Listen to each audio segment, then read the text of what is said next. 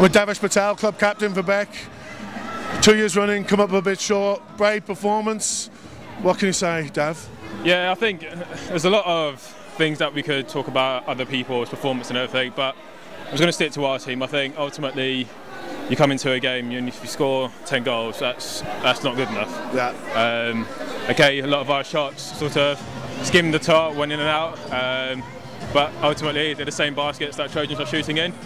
Um, so, yeah, we have to look at our own performance. Like I said, ultimately 10 goals in the game. Um, it's, it's, not going to be good enough to, to win most matches, let alone the final of the EKL. Well, defence did seem to dominate, and it was good defence. Okay, yeah, some of the shooting could have been better, but there was some really kind of powerful defence. Besides, like you know, just goals dropping, what was the difference between the teams today? Um, I don't know. Um, I guess last season we, we could use the excuse of the whole thing about experience. Yeah. Uh, but having gone through it last season, and then obviously the success that we had at Europa Shield.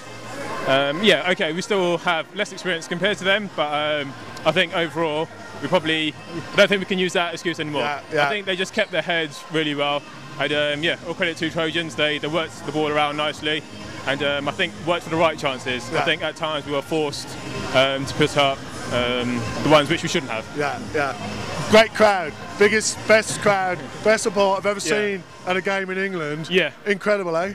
There's, there's, yeah. It's like if you um, similarity to football and the Liverpool crowd. I guess that's what we have here Yeah, at Bec.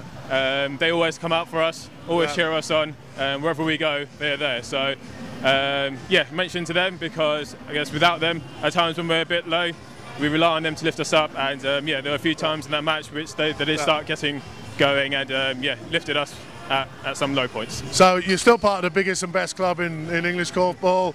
Still plenty of time for you, Dave. You're going to get that championship soon, eh?